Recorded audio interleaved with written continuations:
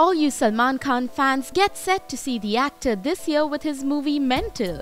In contrast to reports that suggested that Salman Khan does not have any release this year, the star will release his film Mental in December, but won't let it clash with Dhoom 3, confirms Sohail Khan. In a recent interview, Sohail Khan said, The way the shooting is going on, I might make it by the end of the year, inshallah. But I haven't locked it on a date yet. Mental marks his fifth directorial venture.